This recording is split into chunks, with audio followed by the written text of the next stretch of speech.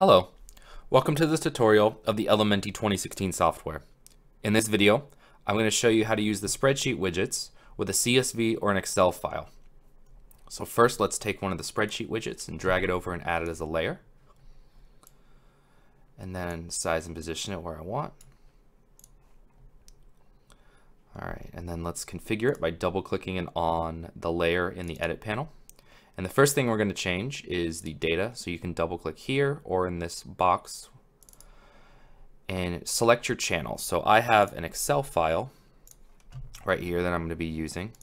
So when you change your channel to Excel file, this workbook property will show up. Click on where it says none, and that'll allow you to browse to the location of your Excel file. So I'm just going to where mine is. If your Excel file has multiple sheets, which mine does, you can choose which sheet you'd like to use. I'm going to use a welcome screen.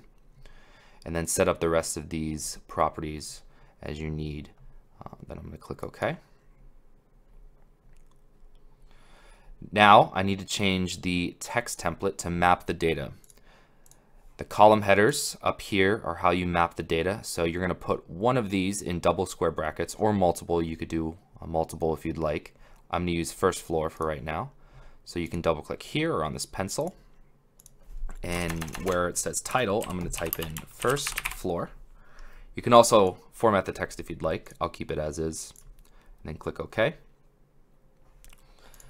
And it should start showing you the content from the first floor column of data, which it looks like it is.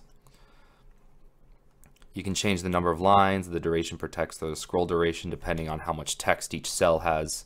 Um, so you can change that as you need. CSVs are very similar. Um, the difference with CSVs is you actually have to designate the path of it. It'll have a property here called the URI. Um, usually CSV files are put on a web server or a location that's accessible using HTTP or HTTPS.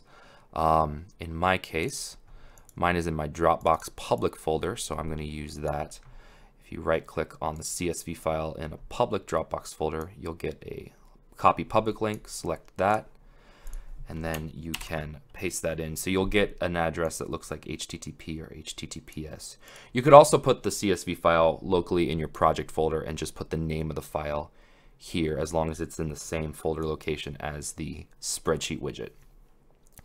Next under refresh, I'm going to set it to an amount of time. I don't recommend keeping it when document opens. Uh, and then you can change these settings as you need as well. Then when I click OK, I should see the exact same content. My CSV file is the exact same file. Uh, I just saved it out as a CSV rather than a Excel spreadsheet. So it's the exact same text content. Um, but that's how you can use either an Excel file or a CSV file using our spreadsheets widgets. Thanks very much for watching.